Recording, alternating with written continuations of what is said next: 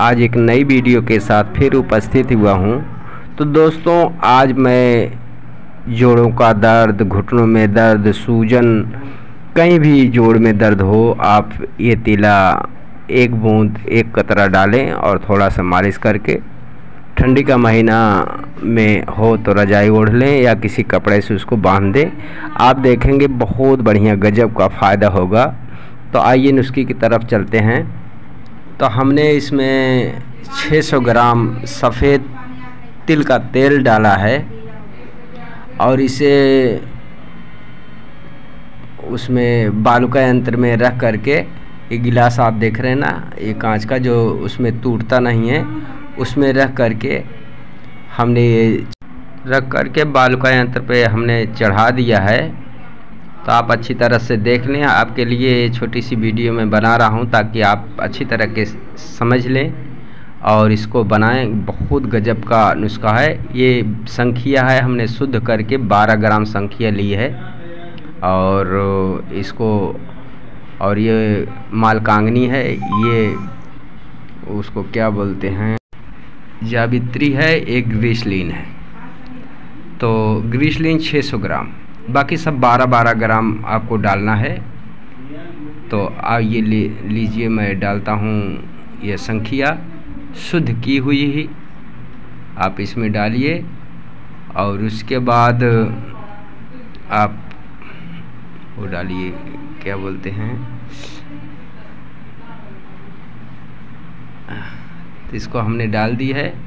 अब मालकांगनी भी डाल दिया है। मालकांगनी को आप दरदरा कर लें। अब ये हमने जावित्री का पाउडर दरदरा करके डाल दिया है। आप इसको चला दीजिए किसी बर्तन से, चम्मच से या कलछे से। आप अच्छी तरह से उसमें मिला दीजिए। कई लोग का मानना है कि ये संखिया जो है त्वचा पे, स्क्रीन पे छाले डाल देता है, ऐसा कुछ नहीं है। अपना अपना तरकीब है बनाने का।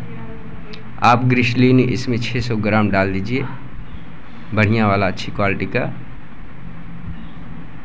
तो हमने ये डाल दिया है। ये पड़ गया है। आप देख रहे होंगे कि अभी इसमें धतूरे का ये पाँच सात फल हमने डाला है।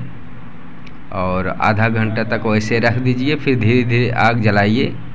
और आपको दो दिन कम से कम पकाना है। एक दिन में पाँच घंटे।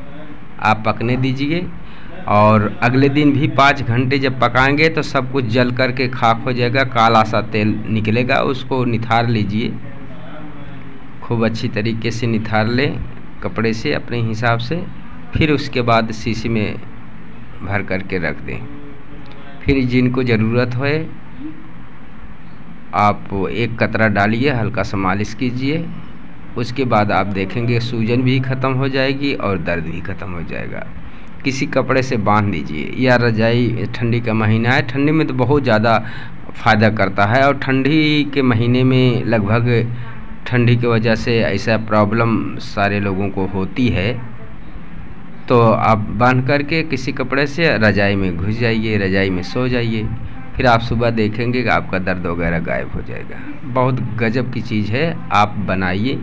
आपके लिए लाया हूँ तो दुआओं की दरख्वास्त है। जी, नमस्कार, प्रणाम।